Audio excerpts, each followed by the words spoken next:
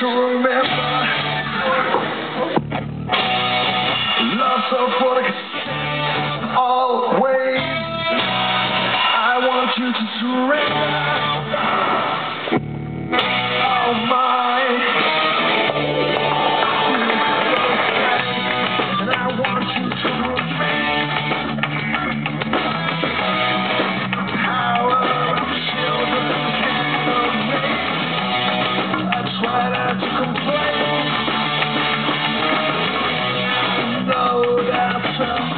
baby.